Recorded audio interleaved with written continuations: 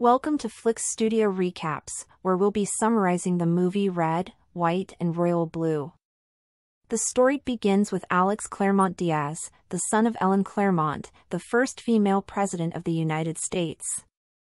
He attends a royal wedding accompanied by his close friend Nora Holleran.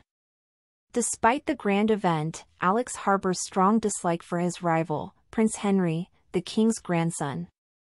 Things take a comical turn during the wedding reception when Alex and Henry engage in a heated argument that results in both of them being covered in the wedding cake. This incident quickly becomes a media sensation. To control the damage caused by the press, Alex and Henry are compelled to participate in a series of interviews and public appearances, pretending to be friends. Their journey takes them to a hospital, where they interact with patients and, due to unforeseen circumstances, find themselves locked in a closet during a security threat.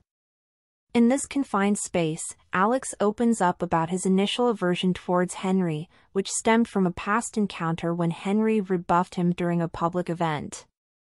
Henry shares his own emotional struggles, revealing that he couldn't offer support at the time due to his own unresolved grief over his father's death. They apologize to each other, mend their differences, and exchange contact information, paving the way for a genuine friendship.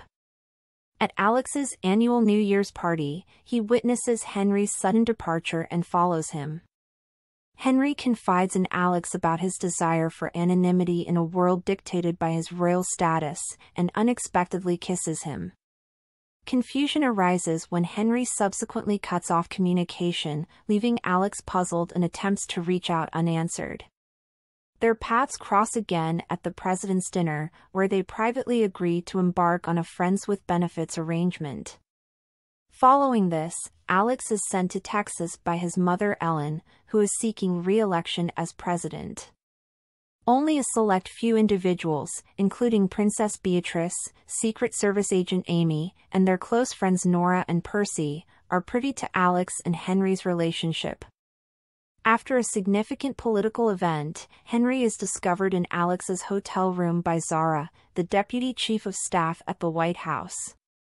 She urges Henry to return to Britain, leading to Alex's revelation of his feelings to his mother.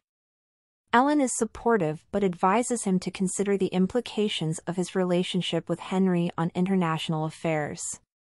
Determined to make his feelings known, Alex invites Henry to his family's vacation home in Austin, where he confesses his love. However, Henry's complex royal obligations prevent him from fully embracing their love, causing him to abruptly leave and cease communication. Frustrated, Alex confronts Henry in Britain, leading to a heart-to-heart conversation where they both admit their love but recognize the challenges ahead. The situation takes a dramatic turn when their private emails are leaked to the media, forcing Alex and Henry to cut off contact. Unexpectedly, Zahra's involvement in a relationship with Henry's equerry, Shaan, is revealed, bringing a surprising twist to the story. Alex rushes to Britain to reunite with Henry, and together they face a pivotal moment when the king informs them that their relationship contradicts the traditional image of the royal family. Despite this, a groundswell of public support outside Buckingham Palace encourages them to step forward as a couple. As election night arrives, Alex, Henry, and Ellen anxiously await the election results, and amid the celebration of Ellen's re-election victory, Alex and Henry share a touching moment. Ultimately, they return to Alex's childhood home to celebrate their love in private, solidifying the conclusion of their journey. Hope you enjoyed the movie, kindly subscribe to the channel for more thrilling movies and recaps.